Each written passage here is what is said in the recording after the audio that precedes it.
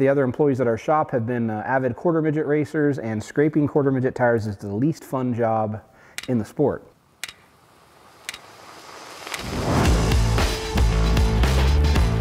So today we're going to talk about our Tire Titan uh, by Pit Boss. Pit Boss is a brand that we own. We build uh, NASCAR pit stop jacks and really cool aluminum jacks that a lot of the sprint car and dirt late model teams use, garage jacks for the NASCAR teams. And we came out with the Tire Titan because we wanted to have an easier way to scrape quarter midget tires. So uh, myself um, and some of the other employees at our shop have been uh, avid quarter midget racers and scraping quarter midget tires is the least fun job in the sport.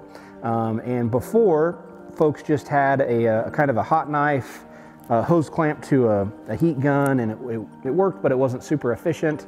Um, so when we started to design this product, we wanted not only to be able to use, use it for quarter midget tires, but midget sprint car teams be able to uh, scrape their tires. So if they went out and scuffed a set in to qualify, they could scrape all this excess rubber off and get down to good rubber. So really handy, universal tool. Um, the blade moves different angles, whether you want to um, scrape around the circumference with the tire rotating or go side to side. And then also uh, this rotates based on the size of the tire you have. So this thing will work uh, very well for anything from a go-kart size tire up to a pavement sprint car tire. Very high-end heat gun we sourced for this. It gets extremely hot and, uh, and does a really good job.